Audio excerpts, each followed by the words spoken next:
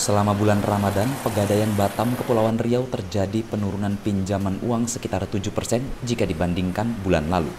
Di mana pada bulan April 2018 tercatat sekitar 180 miliar rupiah dana yang dikucurkan untuk peminjaman dengan cara gadai. Namun selama Ramadan, peminjaman turun menjadi 172 miliar rupiah.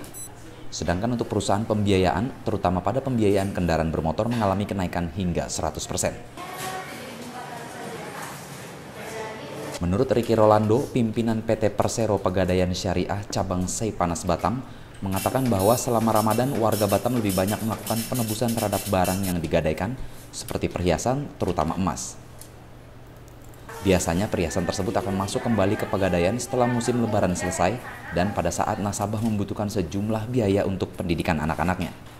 Berbanding terbalik untuk perusahaan pembiayaan yang dinilai meningkat terutama pembiayaan terhadap kendaraan bermotor. Umumnya pembiayaan dilakukan kepada nasabah yang memiliki usaha, di mana mereka membutuhkan tambahan modal untuk peningkatan usahanya menjelang lebaran. Selain itu ada juga nasabah yang membeli kendaraan bermotor melalui jasa pegadaian.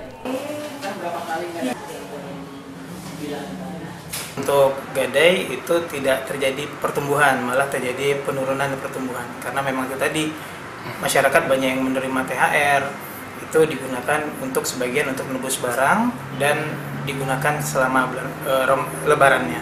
Realisasi bulannya itu kalau bulan ini dibandingkan bulan kemarin kita terjadi penurunan sekitar 7% hmm. dari omsetnya yang biasanya biasa kita bisa bulan lalu bisa terima sekitar 180 miliar satu bulannya, hmm. saat ini sekitar 172 miliar. Hmm. Itu untuk gadai emas. Rata-rata kita di sini gadainya emas, 96% itu gadai emas.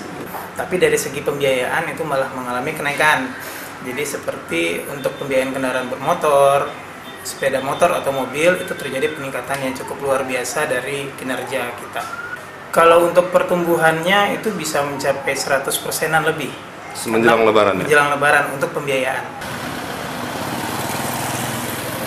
PT Persero Pegadaian untuk wilayah Batam hingga saat ini telah melakukan pelayanan yang tersebar di 86 outlet. Sementara untuk wilayah Kepulauan Riau hingga saat ini sudah mencapai 98 outlet yang tersebar di Tanjung Pinang, Bintan, Kepulauan Natuna, Lingga, Anambas, dan Karimun. Agar pelayanannya lebih menjangkau masyarakat, saat ini Pegadaian juga tengah menjalin kerjasama dengan masyarakat melalui program Mitra Pegadaian, di mana setiap orang yang memiliki usaha bisa mendaftarkan diri untuk menjadi agen Pegadaian. Dari Batam, Kepulauan Riau, Andri Sofyan, Tribrata TV, salam Tribrata.